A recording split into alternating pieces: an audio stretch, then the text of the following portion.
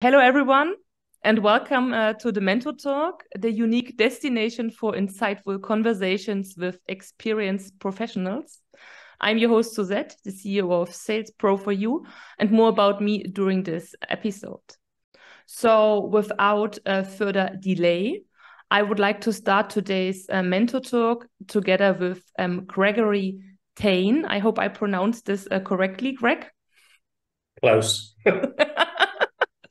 close. So um, yeah, I'm so grateful that you are uh, today in the in the mentor talk because um, I made some uh, let's say uh, short research about your background, and I am really really impressed because uh, you have more than uh, 45 years of experience in business and as a mentor for businesses operating in energy corporate finance, market research, real estate, advertising, and the fintech sectors. And also, you are having a proven expertise in handling mergers, acquisitions, and fundraising. So I hope this is, you know, you in a nutshell. But uh, obvious, it would be really nice if you can just, you know, speak a bit about your your path, what you have achieved in the last um, decades. So, Greg, please. Okay, well, that was a pretty good attempt to give a short overview of what I've done. Um, but I really started when I was 16 in business. So I've done a lot more things um, over the years. But what that gives me is a vast experience and an experience that wasn't just in England. It was also in Russia, in Asia, in Australia. I had a year in uh, America and so on. So I think one of my real pluses is the range of experience and the range of industries that I understand.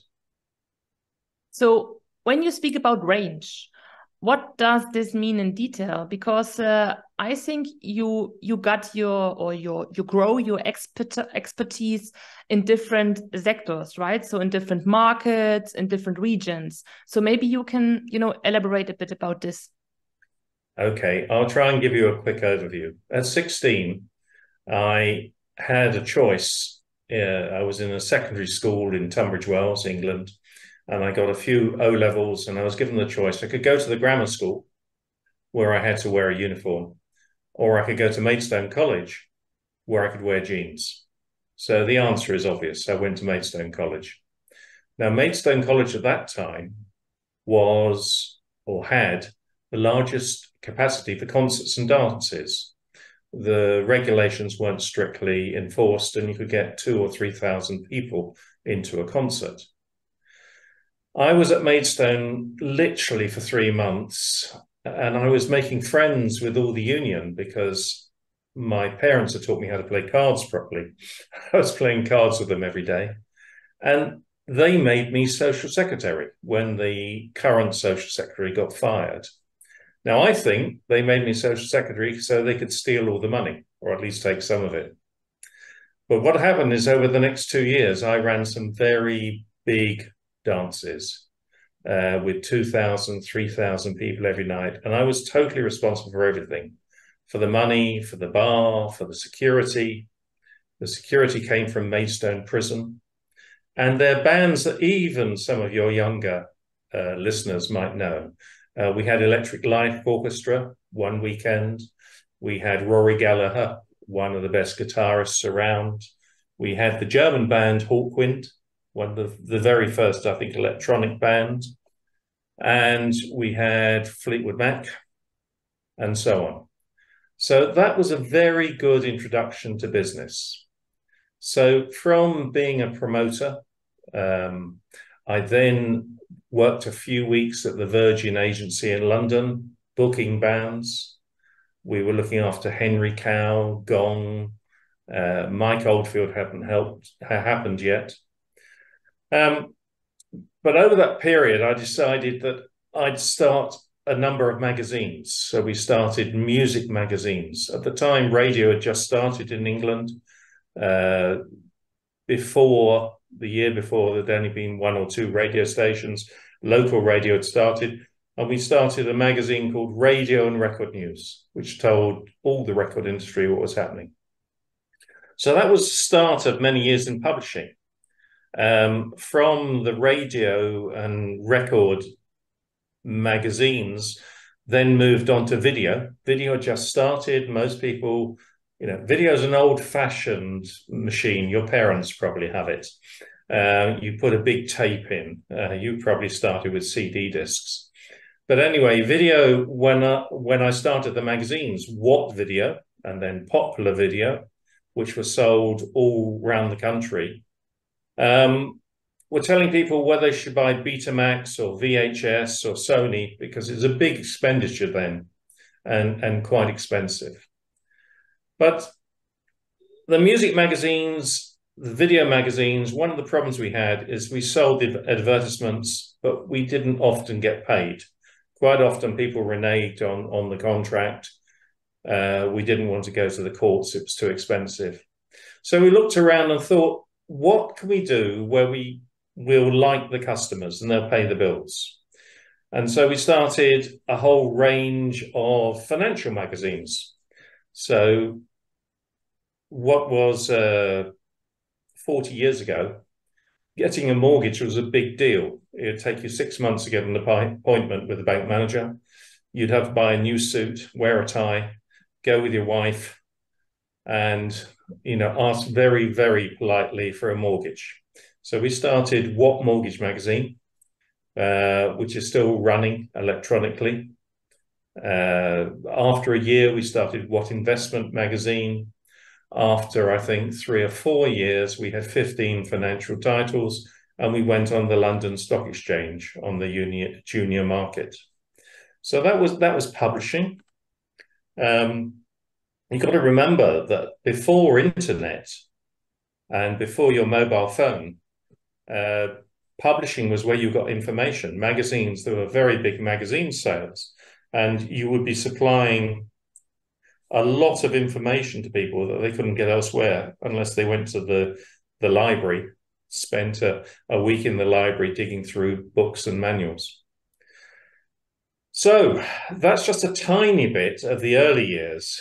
From there, um, I went on to create the British Investors Database, where I computerized every share register in the main market in London. We literally created a database of 10 million people who had invested in the stock exchange. We did that by getting printouts of all the share registers, flying them to India, recomputerizing them, and bringing them back. When I came up with the idea, people said the companies were never give me the share registers, but it was in the law. They had to give it to me. We had a couple of fights, but eventually everybody had to give us the share registers. Uh, we ended up with a database that had all the names and addresses and investments at one point in time of all the investors in the United Kingdom. And when the government was floating all the companies and making all the um, state-owned companies private, like the electricity, the gas, and everything. Every time they did a flotation, they'd buy all the data off us. Uh, I think it was over a million pounds every time, which 30 years ago was a lot of money. So that company was called ICD. That again was on the stock market. We then went on to do uh, the British Consumer Survey, where we got 7 million people in the United Kingdom to fill in a very detailed eight page survey. Um, at the same time, I was active in politics with the Conservative Party. I was on the list to be a candidate for the European Parliament.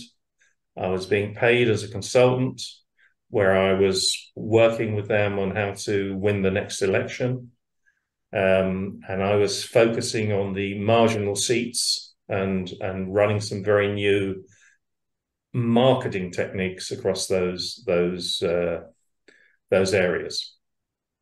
So in 1992, I got invited by a friend who I'd used to employ to go to Russia. And I went to Russia. 1992 was really the first year that Moscow opened up. And I just couldn't believe how nice it was when I got there. Uh, early on, it was very nice, very friendly. And I previously, a few years earlier, had had a, a, a pretty um, tough divorce. So when I got to Russia and it was so nice, and there was a party every night, to be honest, uh, I decided I was going to stop what I was doing in the United Kingdom and go to Russia and start business in Russia. So within a few months, I'd resigned from running a public company. I'd taken the money I'd created, and a few investors uh, backed me with a little bit of money. I went to Russia and we started up four or five different businesses. Greg, can you just ask you a question about, you know, setting up the company in Russia? So, how did you prepare yourself to just, you know, doing this? Because it's a completely other mentality of course, I mean, it was in 1992, you know, as you just, as you said, you know, the, the wall was down, everything was now going to be open. You could start traveling, you know, every, there was also a big change, you know, from politics, right? So how did you prepare yourself? And did you were aware of the language as well? Because Russian, English, you know? Нет, Chuchu Paruski.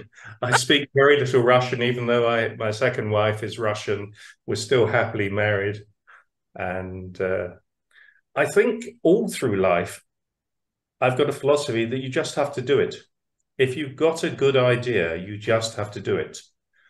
Um, coming back to what I told you about the beginning, uh, what investment magazine, what mortgage magazine? WH Smith's at the time sold 50% of all the magazines in the country. They had a chain of retail outlets all over the country.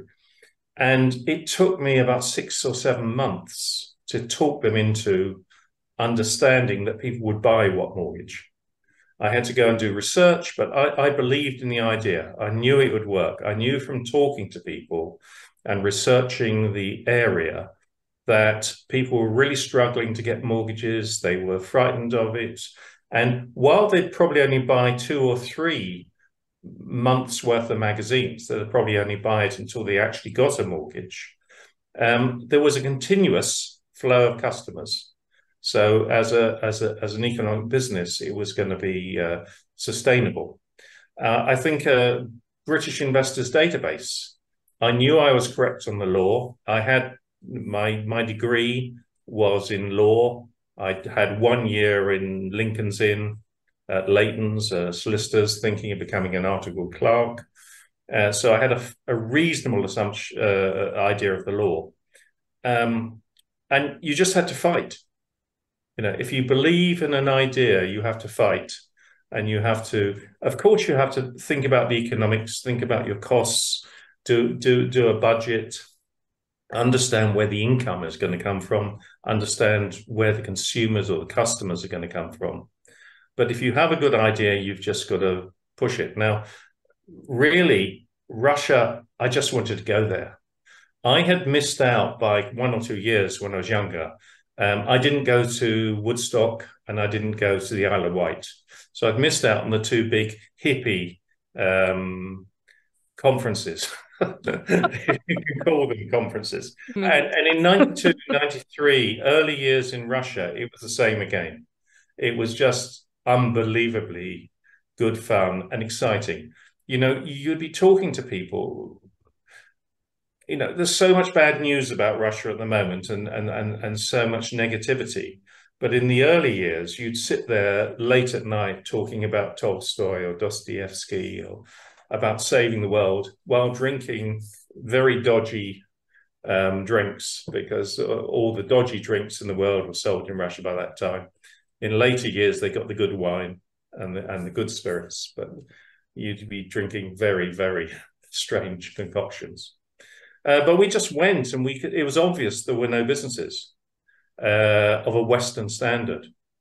So th- there were two themes, you know, marketing, research, advertising, I understood very well. That's what I've been doing. We started businesses in that area. But on top of that, there was no business cards. This is the day before computers, before phones, you needed business cards. So we bought a printing press. No idea how to run it. We bought a printing press, imported it to Russia, a simple AB Dick printing machine, and we uh, we set up as printers as a kind of Kall Kwik or yeah, instant print shop. So we're printing business cards, we're printing letterheads, we're doing quite well. We had one competitor, but unfortunately, the only printer we could find to print regularly for us and work for us came from the old Soviet system. And he used to genuinely print with one hand because the other hand had a bottle of vodka.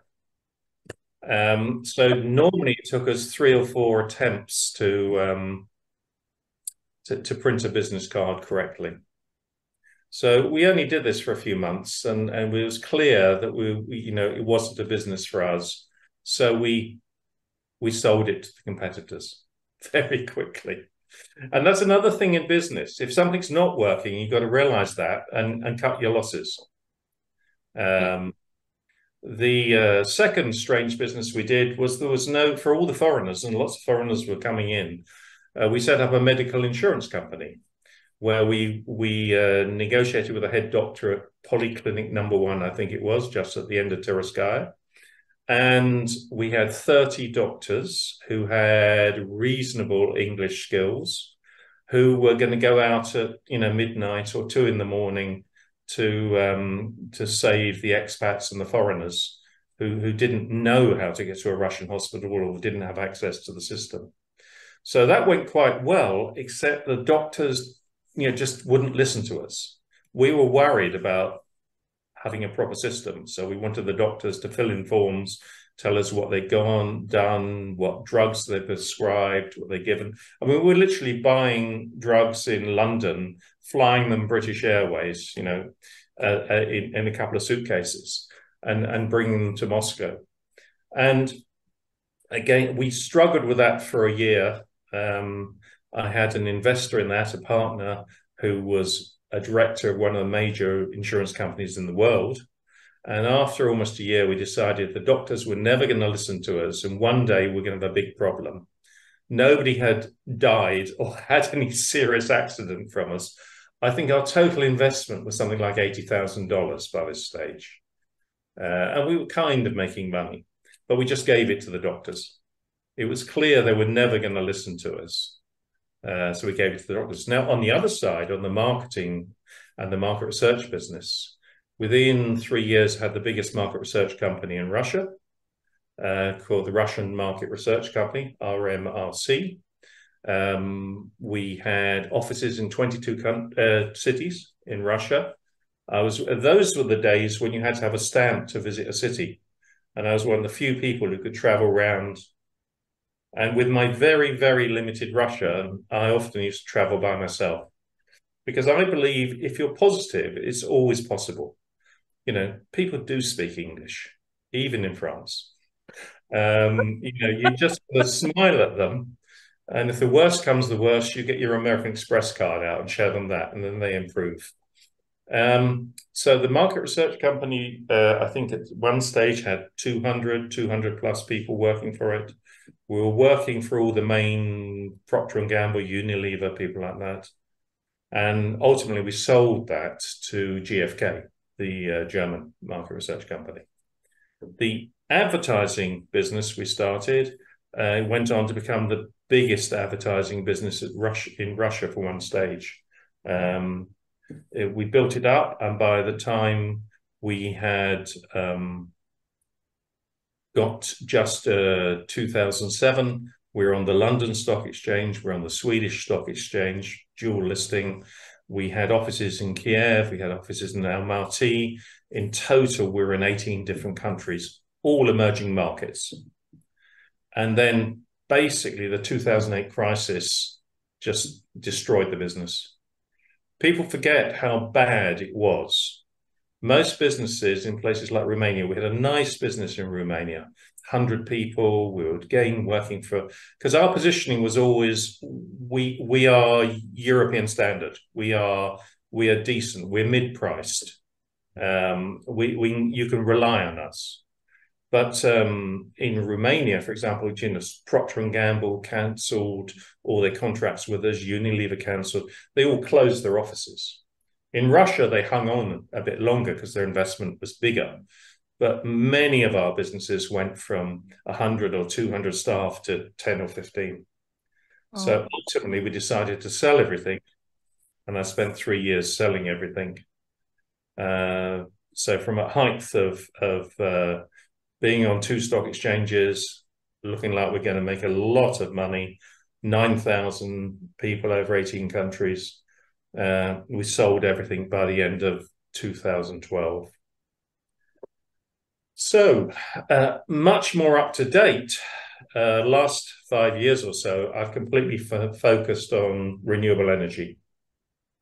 And we are now um, in a process where we have purchased two geothermal wells in Holland, and we have applied to drill 24 more geothermal wells. Geothermal well, you drill down just the same as oil or gas, two kilometers, three kilometers, up to six kilometers into the ground. You hit hot water. You bring the water up and you use the water um, to heat homes, to uh, provide energy to industry. Um, a very good example is to provide heat to um, greenhouses. And there's a lot of growing of, of, vegetables and salad and tomatoes in greenhouses. In Holland, there's 110 square kilometers of greenhouses. Um, the business, which is called 85 Degrees, which I started with my partner, Bart Doenhaai, who's a, a Dutch citizen, um, we we genuinely believe that within four years, maybe five years, we'll be a, a, a billion euro business. Unfortunately, I've only got a very small um, shareholding, but it's still going to be worth quite a lot. Hopefully, it's going to be a bit like Google.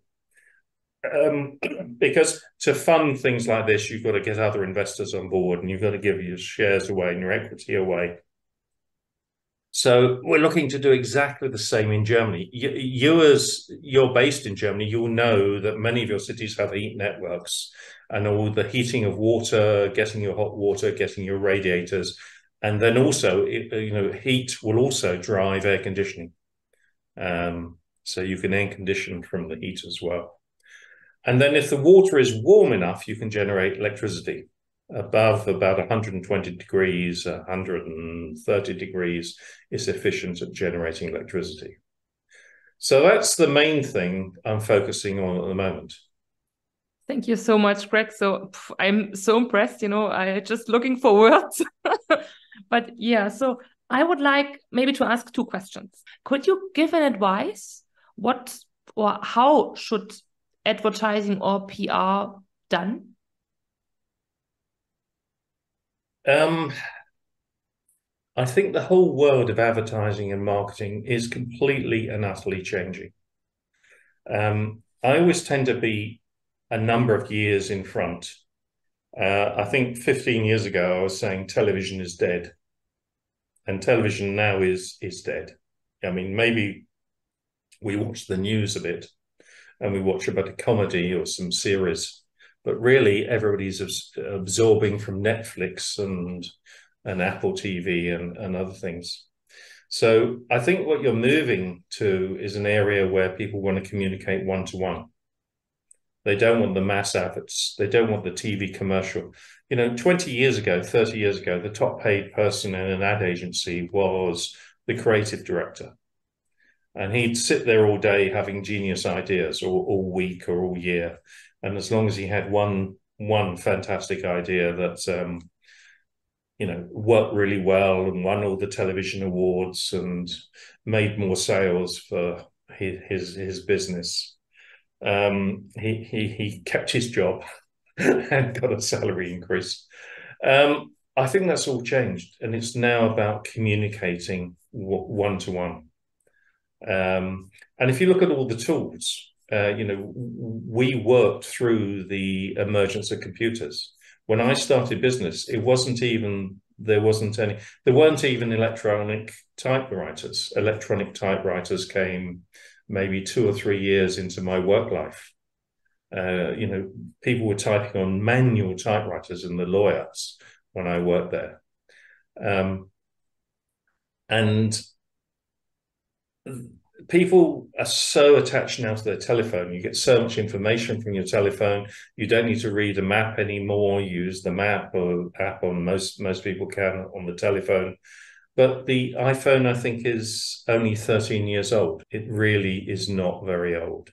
So technology is changing. Technology is moving very, very quickly. Um, people don't like change but I think in the world of advertising and PR, it's it's very much coming down to people wanting to communicate with influencers, communicate with individuals, talk to individuals, and um, it's only going to get, I think, more fragmented. Um, it's also going to be driven by by computer systems and artificial intelligence.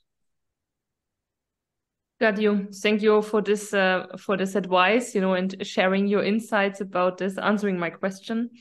Um, maybe you can also speak a bit about fundraising because I believe a lot of our uh, listeners or viewers they're interested, you know, in funding a company, especially a startup, or if they are already in the scale up phase, they're also looking for investors. So maybe you have an advice for those people. Absolutely, absolutely. You've got to get your proposition right you've got to get your presentation, your proposition right. So investors want to understand what's the basic idea.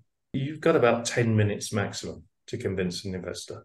It used to be you had a one hour meeting or a two hour meeting, but it's now 10 minutes. So you've got to have a clear vision on your idea and you've got to broken down what the key points are. And then you've got to say who's where's the money going to come from? You've got to be very clear on what your costs are going to be. So it's it's got to be simple, straightforward, simple. You know, we we have a list of things that should be in a presentation, and then you've got to target the right investors. Um, so that involves spending a bit of money. I mean, we use mostly PitchBook, and by using PitchBook or Crunchbase or one of the other resources, one you've got to pay for them. You don't you don't get anything for free in life. Uh, but when you get that, you can actually at least identify the likely investors. So we use this for geothermal. You know, we can see companies that have already invested in geothermal or companies that have invested in, say, solar parks. You know, geothermal is renewable energy. It, there's three. There's geothermal, wind, mm. and solar. So if they've invested in wind or they've invested in solar, they might invest in geothermal. So you've got to do your research. You've got to have a very clear proposition, and you've then got to research. Uh, you rehearse. You've got to rehearse. Even a day rehearsing will save you a lot of trouble. Now here in Monaco, there's a, a team that I've just convinced to actually start using me.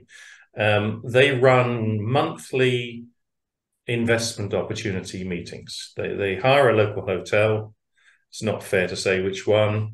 Uh, they'll have some project, um, and the, the, the person with the project comes to Monaco, and at six thirty you get free wine for fifty people and canapes, and they get up and present.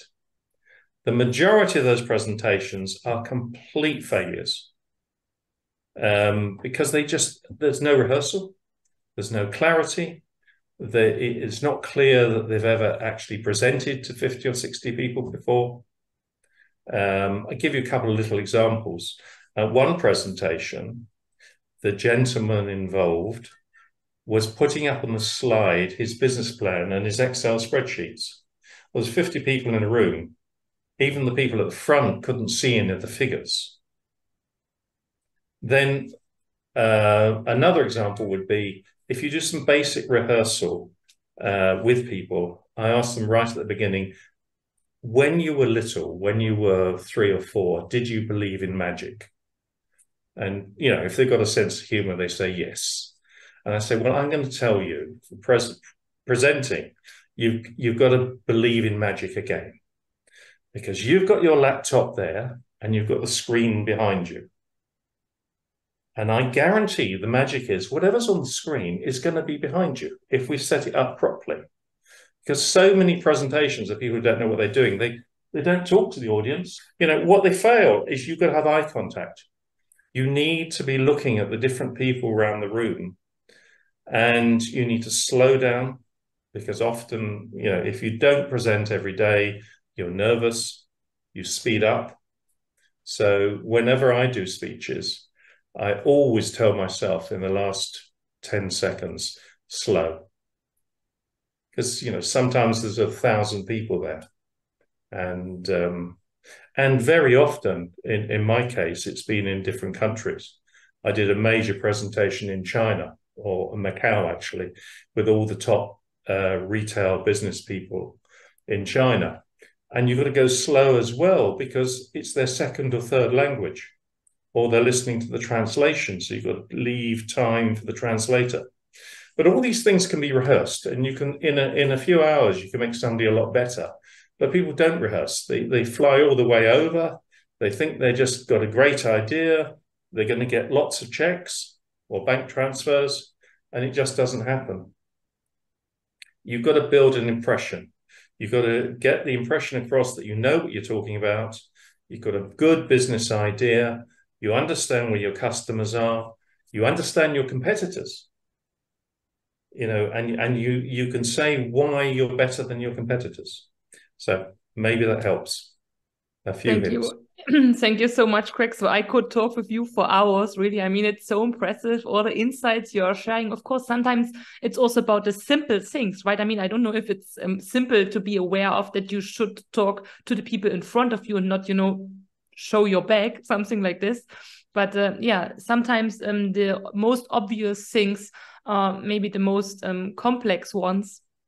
Well, it's not just that you need to talk to people in front of you, you've got to move you've got to look at different people because they've come at least for the first two or three minutes to listen to you. So you you you've actually got to look at everybody and try and engage everybody. If you look at people, they'll listen longer. If you're losing them, they get the phone out and start making arrangements for lunch. Yes, you're right. So it was really magical to speak with you today, Greg. So I'm so thankful that you uh, spent uh, this time with me, you know, talking about your background and also sharing a lot of insights. I would like, you know, just to say that this is now wrapping up our enlightening episode of today's Mentor Talk. It was a really, really big pleasure. Thank you so much um, for your time. Uh, I hope you will have a wonderful day uh, today in Monaco. And I would like to close um, our uh, episode today with uh, some insightful words as well. So I believe success is a journey, as uh, Greg just presented, and having the guidance and also the wisdom of an experienced professional um, makes all the difference. So, and um, if you have any kind of feedback or if you would like to get support by today's expert, uh, Gregory Thain, I hope I pronounced this correctly, Greg, I'm sorry again. yeah. Uh, just uh, email me uh, to uh, mentor at uh, salespro4u.com um, and uh, i wish you a wonderful day um, thank you so much. Bye bye greg. Thank you. Have a good bye. day